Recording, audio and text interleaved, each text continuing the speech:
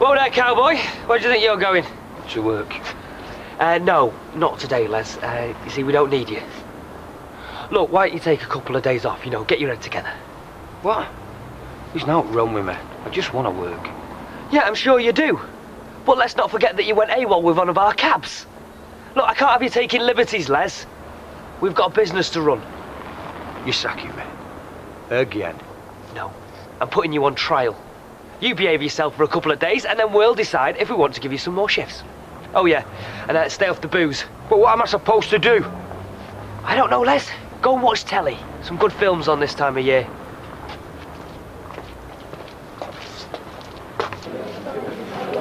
I, have not told you. Only I've told so many people today. I can't remember who I have told and who I haven't. What? Great, a new audience. Look, this is the story of the miracle of life. So if you're sitting comfortably, I'll begin.